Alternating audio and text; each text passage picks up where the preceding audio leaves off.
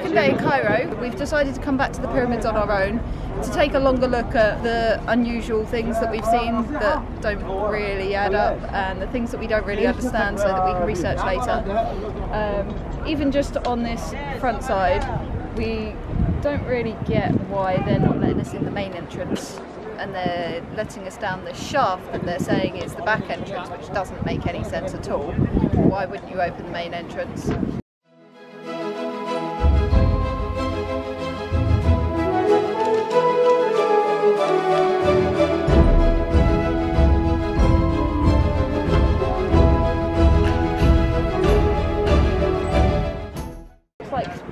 Blocks have come out, fallen out, been taken. Whatever, I. And then there's I'm a couple of doing a uh, video. and then there's a couple of uh, holes in this block over here which seem to be very square, almost functional of some sort. They don't look decorative and they're not in any other blocks. Yeah, it looks like something fits into it. Just by the Great Pyramid of Giza, um, around by the made for his wife and children, supposedly. And strange, I, I want to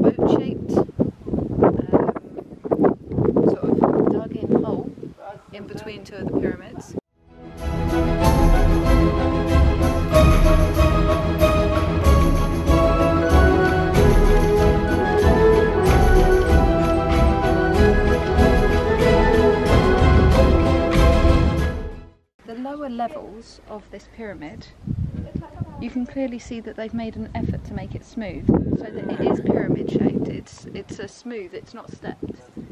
I can't see that anywhere other than the lower couple of levels of some of the pyramids.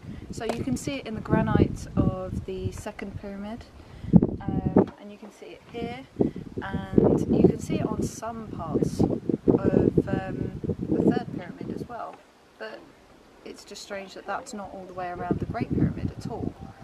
Um, Yeah, there's no granite around the no Great Pyramid. Around the Great Pyramid. It doesn't look like they've made an effort to make it look smooth.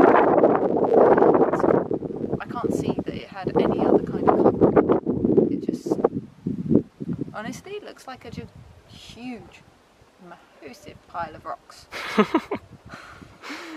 Which would be incredibly hard to put together. So this bit here is literally just the casing and it looks like I don't know why they would have done it for the wife and daughters but they didn't do it for the Great Pyramid if they were all built for the kings because the king's pyramid would be the best surely. But apparently these ones still have their casings on and um, the, just the joins on this casing is significantly better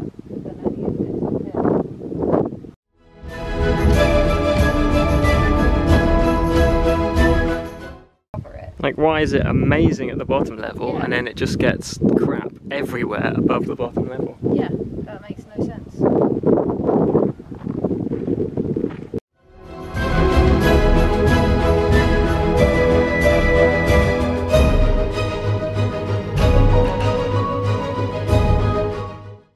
So now we feel like we're properly exploring. We've just kind of come away from the main area and there's still like ruins all the way around.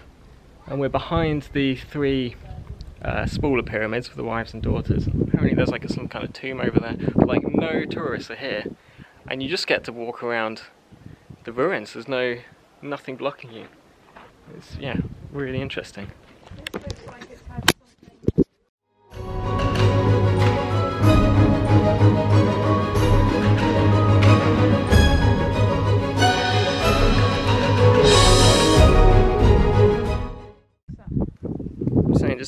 These uh, two rocks there that have obviously come apart. But if you get in close, you can see just how precise that is, how straight. Because you don't really get a sense of that when they're kind of stuck together. Yeah. But seeing that gap.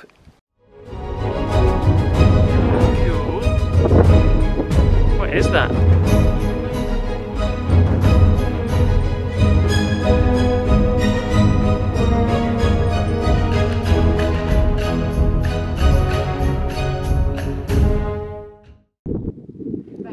So found another one of these things just at the end of this wall. base, as Charli has pointed Yeah, out. it's kind of weird. Around the last, behind the last three, like wives and daughters of mini pyramids next to the Great Pyramid, there's like what looks like tons of these little bases to pyramids, as if they were going to build another eight more or something. And this one has two small, weird entrance-looking things. Yeah, no hieroglyphs though.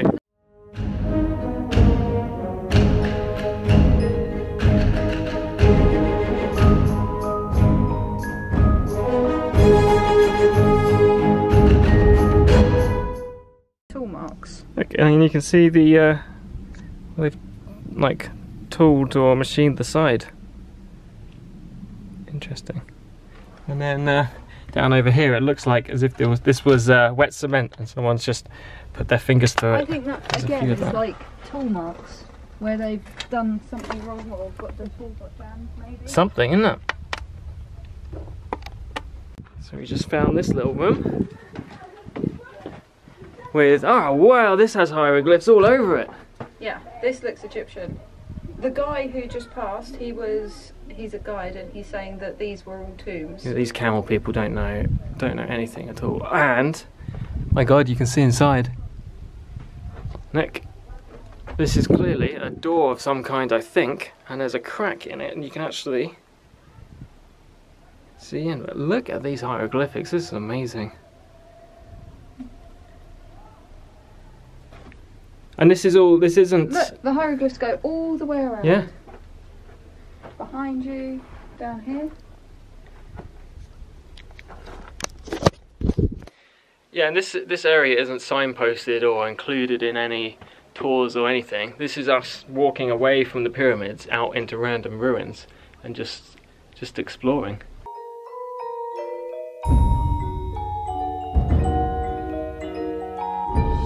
Let's go check out what this thing is.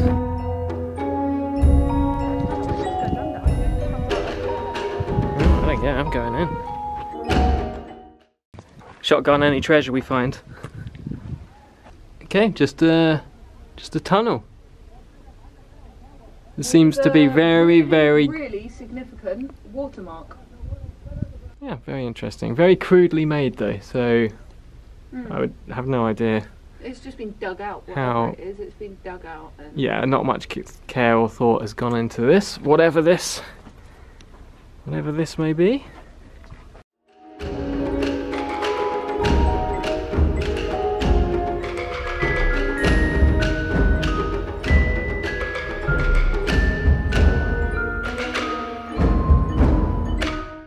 This is another example of these really small structures we're seeing dotted around. And this one clearly has a door of uh, some kind, a natural room, with more hieroglyphs. Yeah, this. And you got uh, wood weird. still in the still in the rocks. I wonder how old this is. Let's try and have a look inside.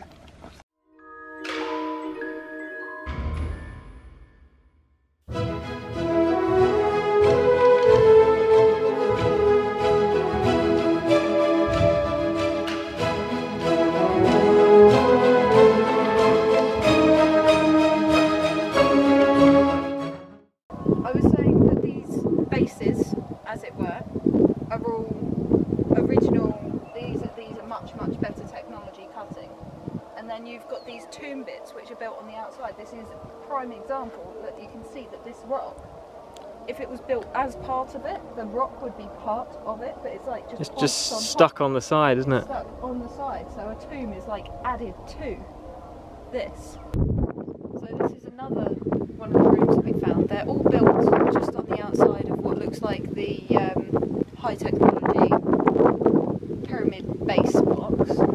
Um, so they're sort of attached on. And this room you can see in, again, you've got another door to nowhere. I think that these are the tombs for the Egyptians. And at the back, there's the- another one of those. Uh, it's I- almost identical to the other one we saw. I think it's uh, for safe passing to the afterlife.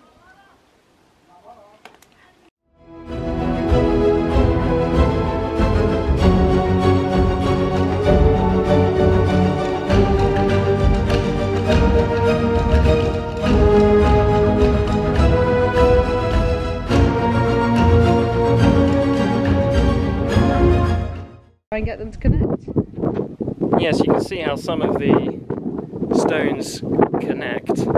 Uh, so on the surface, it might just look like uh, like a, a, normal right Yeah. angle one block fitting into another, but actually further down, there's more of a jigsaw going on below the surface.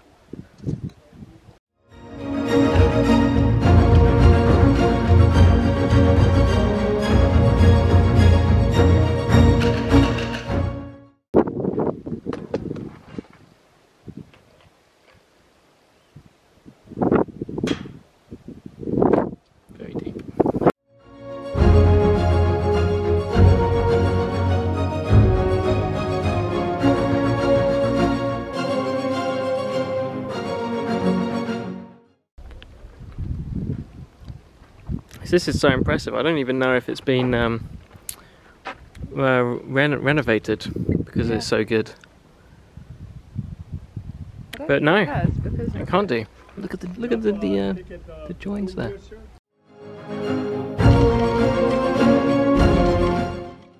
So what's interesting here is completely different architecture. On one side you got the, um, the really really good flat smooth limestone, perfectly cut, and then over here on this side, down this row, you've got the um, what I can only describe as the puffy stones that uh, that you see in Inca Inca stuff. So there's more puffy stones on this side, and then it just goes flat. changes again to completely still, flat. The joins over here, the joins here do not compare to the joins that we've seen over there. Maybe. hey, look at this. Yeah, maybe. Can't get a butter knife in that. maybe these are just eroded.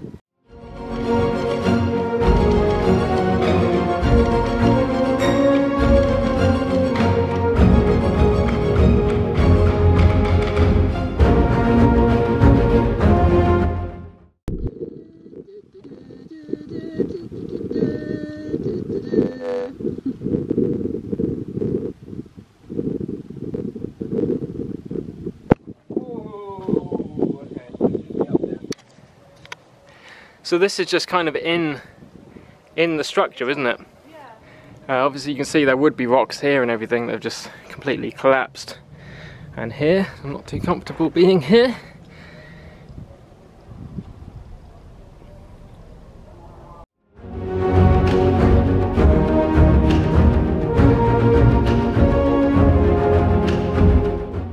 This looks like in much better condition than most of the, the other things, but still buried and pretty much unexcavated. Still got loads of it um, hieroglyphs all over it, Loads. inside and out. Yeah, look at this. Does it have one of those stones at the back? It's got a stone here. I can't see the stone at the back, but then I can't see around the corner. So I think it's probably around the corner. Yeah, look, hieroglyphs all over.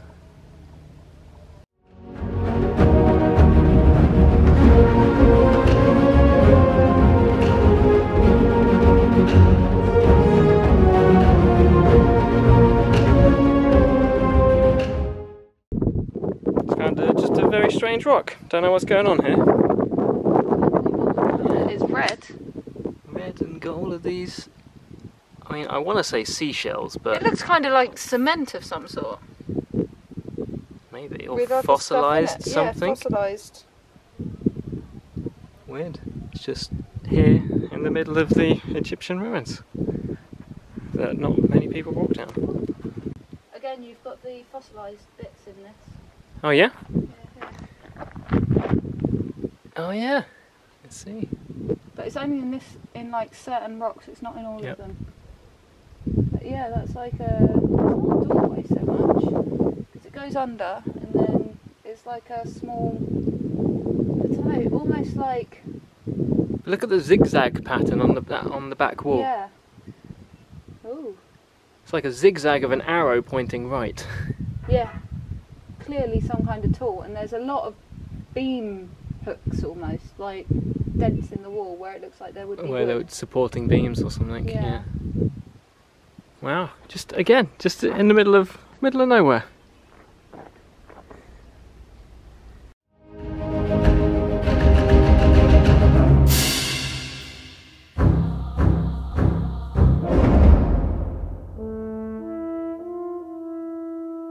There you go. So here you've got the lower levels which are immaculate. They are properly, properly done.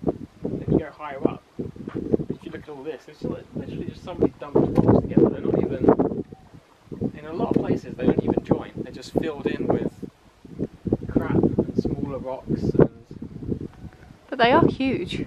yeah, I mean, there's no denying these are absolutely huge. But Yeah, but even saying that, these rocks that don't quite fit together are clearly hiding behind there. Because you've got that coming right up to here. Think they've just mashed a few rocks together and then they've done a nice outside. Yeah, You don't think this is nice No. level all the way? I don't think so because if you look, this level that you're even looking at now, over there, it's completely covered. Okay. Okay. That's my thought. But you think it goes perfect all the way through? Uh, Maybe not, actually here. Yeah, that's what I'm saying. The outside just looks like a pretty covering. Yeah. So what you're saying is they've cheated? Yes. Yes, I agree Charli that the inner blocks are obviously they just they don't care about the inner blocks at all.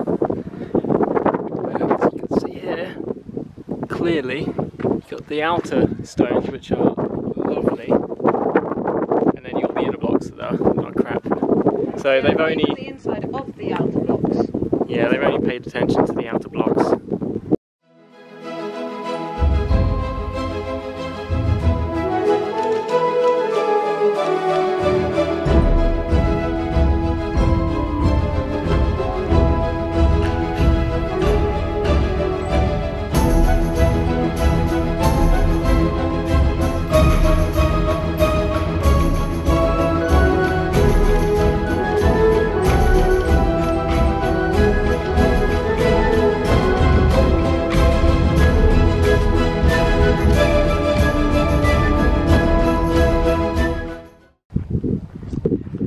Strange how on one side you've got completely smooth, haven't you? And then you step away from that and it's completely different. So this is a bigger version of the small tube over there. This has got hieroglyphs all up these walls, Oh wow. but they're very eroded. And then inside, oh, it's not even on the outside. This is just erosion.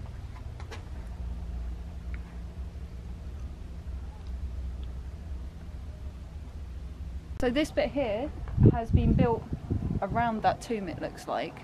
Um, or been repurposed for. We believe that this is the Egyptian brickwork. However, it doesn't have anything Matching the smoother stuff. The small, smooth Yeah, stuff. the bases of the pyramids. That, for example, this bit here has just got some on the outside. None of the other buildings, none of the smooth stuff has any hieroglyphs on. This has got like some hieroglyphic tablet. And it actually goes under the sand. It's not fully excavated. Hmm.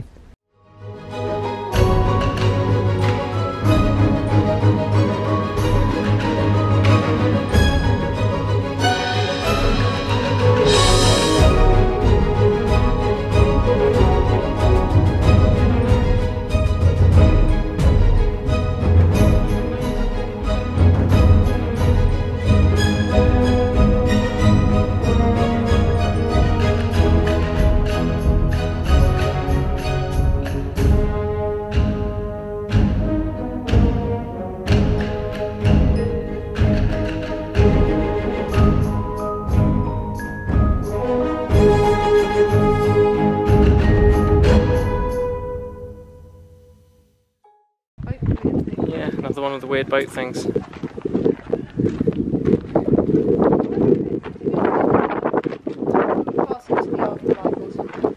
Maybe. Maybe they did put boats in there. There's allegedly a boat was found in one of the pyramids and is in that building there. This is Oh. interesting. This is interesting. You can see inside. That is interesting. That's strange. Yeah, all from one piece. But you can see it's quite primitive. I mean, look at look at that. Yeah. That's hardly right angle.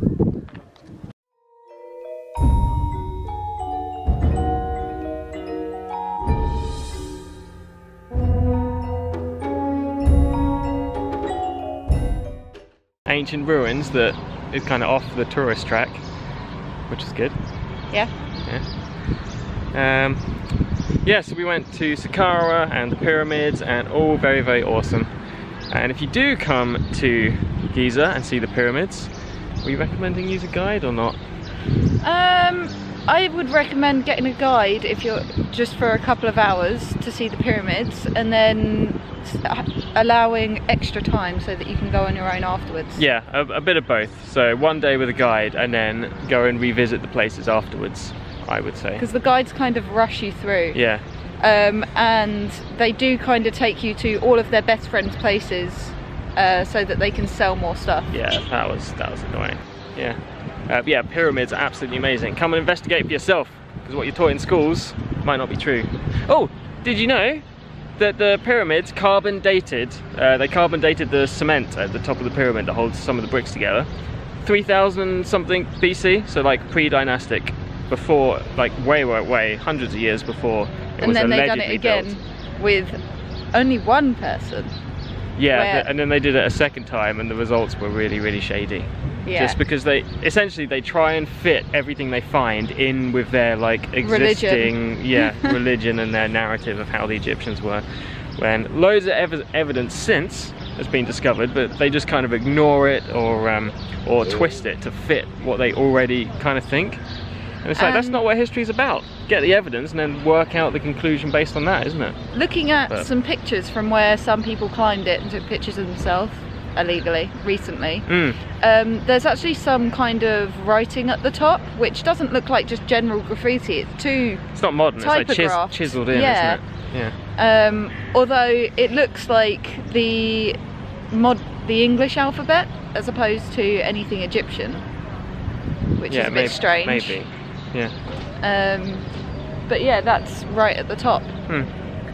and it doesn't look like it's just been scraped in there. It's too perfect. So yeah, very very interesting. Highlights absolutely the pyramids, and in fact all of it. The Sphinx, the pyramids, Saqqara. It's all It's amazing. it's all absolutely insane. We're coming back. Yeah, it's just a shame that uh, these uh, amazing places are in Egypt.